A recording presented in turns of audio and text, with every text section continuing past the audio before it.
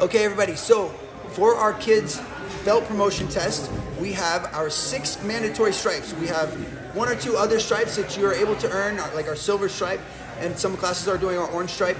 But our six main stripes, our green stripe, our character development, our mental focus, we have several words of the week that you're gonna need to know, um, and we will send this out to you. So there's essentially 16 words going from honesty, integrity, self-esteem, etc., all the way up to listening skills, which we'll be covering uh, the week before the belt promotion, okay?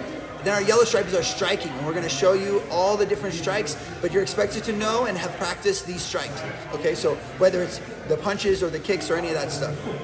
Our red stripe is our self-defense stripe. Okay, these are all the jiu-jitsu moves that we've learned to escape from bad positions or improve our position, etc. Okay, um, and we'll show you all those as well. Our our purple stripe is our grappling stripe. This one you have to earn in class, and you'll earn it on your belt promotion day as well. But this is when we're doing our very best while we're grappling doing our best, being a good partner. So we have mutual welfare and benefit. Both parties are learning, getting better, and having a hard time, to be honest, okay? So we need to go through that struggle so that we get better.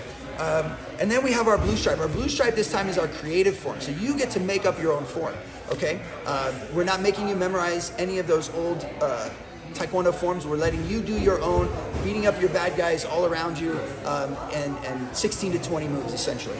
Our black stripe is our fitness requirement. So all of our warm-ups that you're doing, your push-ups, your squats, your running, all that stuff, your forward rolls, backward rolls, this is all your black stripe, okay? So we wanna see you guys trying your very best, okay? You don't always have to be the best at doing a cartwheel, but you have to try, okay?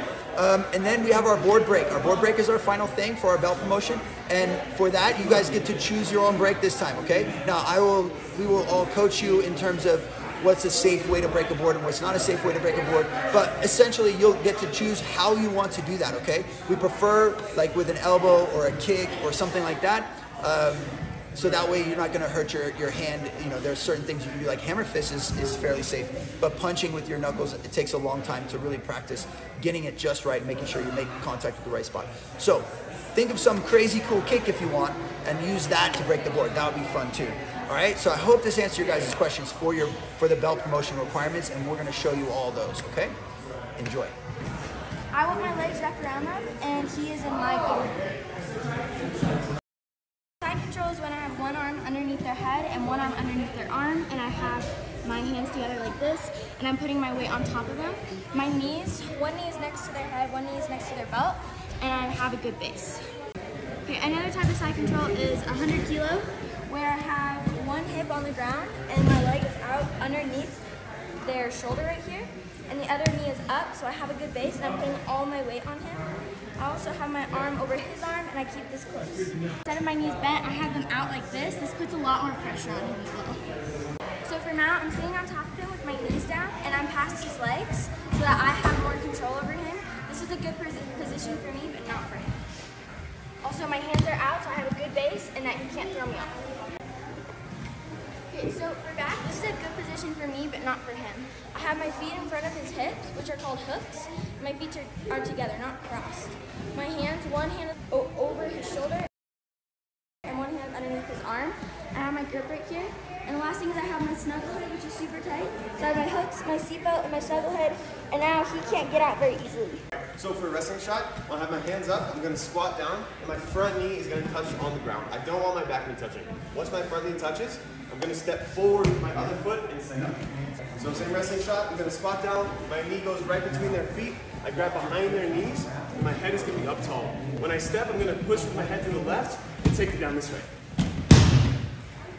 So from guard, I wanna get on mount, so for that, I'm gonna do a hip bump sweep. I'm gonna go all the way up on my hand, not my elbow, and reach over, and grab his arm right here. I'm gonna pin this tight so that he can't put his hand out when I bump. I'm gonna unlock my guard, bump my hips up high, higher than his, and then sweep him over.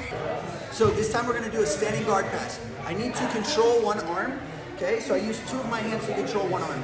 I'm, i like to step up on the side that I'm controlling so that he can't trip me. If I step up on the other side, he's gonna reach and potentially knock me over one or the other. So I control this, put it on him, and I stand with this foot.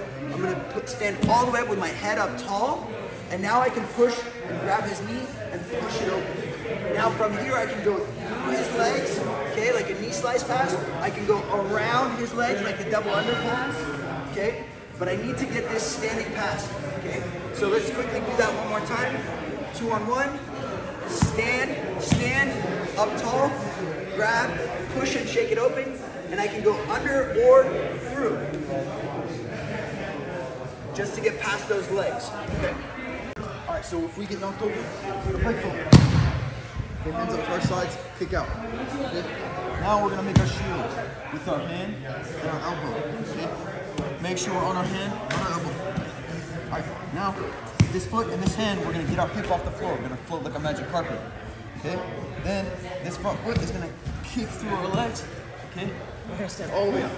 So if someone is trying to go and punch at me, I'm gonna block my head by putting like a shield over my head.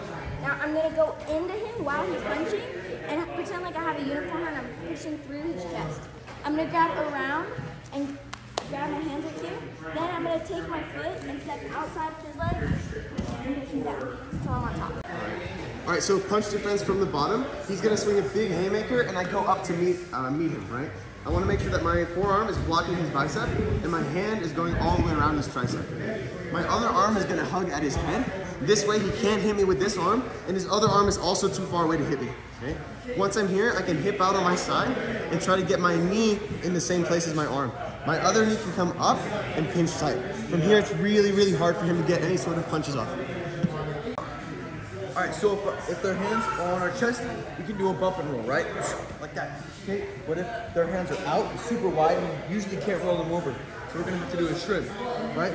So take our two hands, all right, put it underneath. Okay, push it all the way on our side. All right, use our butt to push their other leg away. Okay, use our hands push the knee off. Okay, and then we'll get our knee through. Okay, and then wrap around it. And we turn on the other side, Take our two hands, put it on their knee, and push it away. Get our knee, get our knee through, and go to full guard. So a lot of times someone in the fight might do a headlock like this. A good thing for me is that they can't choke me, but they can punch me. So to, to block that punch, I'm gonna have one arm underneath his arm right here, but around his back. I'm gonna grab his arm right here. My other hand also gonna grab his wrist. Now I wanna take him down, but I don't want to take him down on top of me. So I'm gonna sit back, but put him on his side. So I step behind him, sit down, and put him on his side. I'm on my knees back here so that I have good control. My bottom arm is gonna come out and I'm gonna put it on his head. I wanna get his arm off of my head, so to do that, I'm gonna push on his head to get my head up. But usually just my arm is not enough, so I'm gonna put my knee on his head and kind of push down. My other hand is gonna go on his wrist right here and I'm gonna peel off and look towards his legs. Jab, cross, hook, hook, uppercut, uppercut, roll, roll, slip, slip, stretch and kick, crescent kick, axe kick, roundhouse kick, front kick, side kick, step behind side kick, back kick, stretching kick, crescent kick, axe kick, roundhouse kick, front kick, back leg side kick, stepping side kick,